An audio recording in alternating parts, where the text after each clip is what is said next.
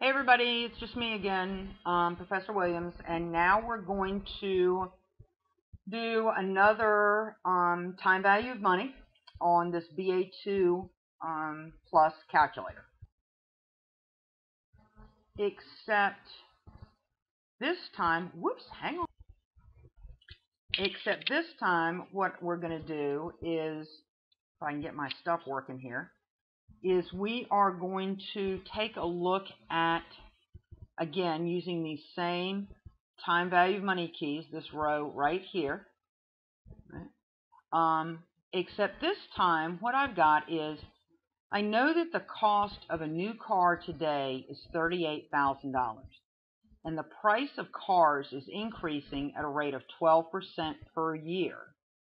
So at a rate of growth rate of 12% per year, how long is it going to take before I have to pay $100,000 for that car? Not that I'm ever paying that for a car, but that's the question posed to you.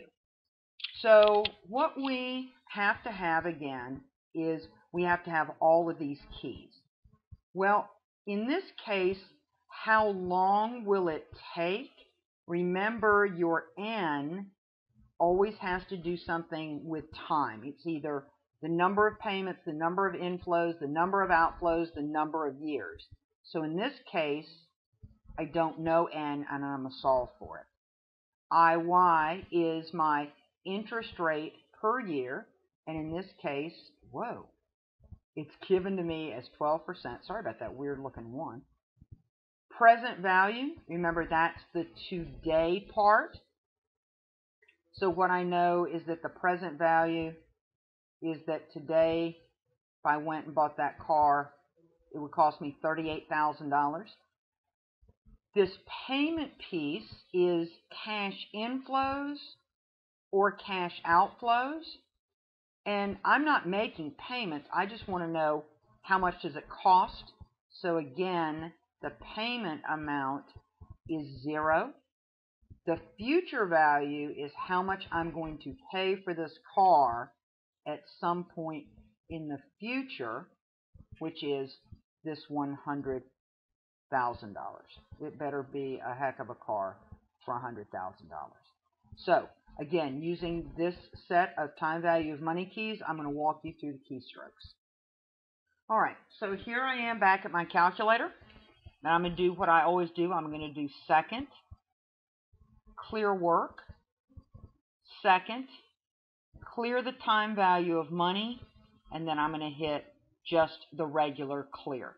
Make sure I don't have anything left in my calculator. So I'm going to start working across this row of time value of money keys. I know that interest rate per year is 12%. And all I have to do is just put in the 12, and I can hit IY. Now I know that the present value the present cost of that car is $38,000. And now I can just hit PV for present value.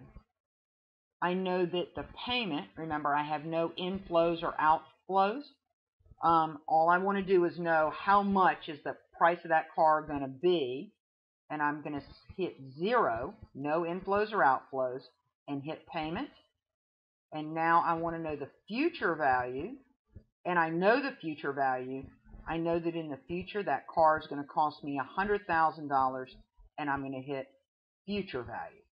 Remember this magic compute key right here says I want to compute the missing variable and in this case it's n or the how long it will take before that $38,000 car now costs $100,000.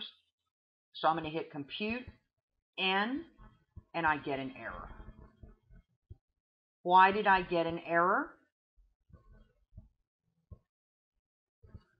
Because got an error, and I did this because a lot of you all are getting this same error. This future value right here, when I go to buy this car, right, I'm going to buy the car, I'm going to write a check for $100,000, correct? Well, when I write a check, that's an outflow. So what I know is that when I go to write that check, it's going to be a negative $100,000. What we know about the way the time value of money keys works is I've got to have a negative value somewhere, either in this future value or in this present value. So now I'm going to go through again, and I'm, we're going to, to see how we should have worked it. We're going to say second, clear time value of money, second, clear work, and then clear again. Right? Now I'm going to start through again. I'm going to say IY is 12%. The present value is $38,000 and it's a positive present value because I haven't spent that money yet. I haven't written a check. I'm not getting any inflows or outflows. I'm not earning or spending money in the interim time between today and the time I buy this car. So I'm going to say the payment is zero. And now the future value when I go to buy this car is going to be $100,000.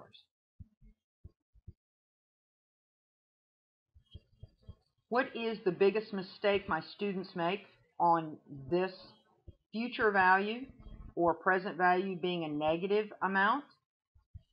It's the fact that you all, you can't use the minus key. You need to use this key right here, which toggles on to either a positive value or a negative value. So now what I'm going to do is I'm simply going to take this 100,000, I'm going to hit negative and then future value. Right. Now I'm going to say compute. Remember what I was looking for was how long, which is n, and it's going to take me roughly 8.54 years. If the price of a new car costs $38,000 today, the price of cars increases at a rate of 12% per year, it will take 8.54 years before that same car costs $100,000.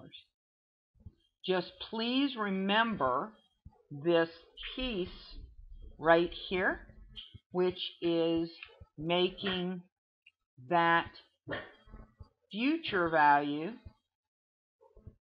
converting that over to a negative